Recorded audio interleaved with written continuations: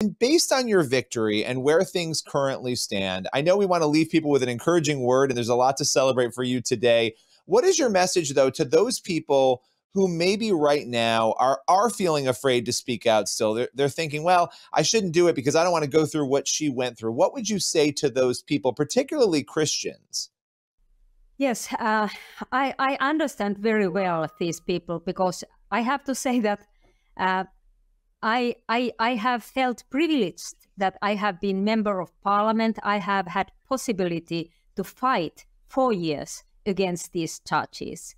It, it might be more difficult for someone else uh, in, in some other occupations and, and so on. But uh, I, I, I, I would, uh, I want to say that if we are silent about these biblical issues, about our convictions, about our faith, uh, the space for our freedoms, the, the space for the freedom of speech, it, it comes narrower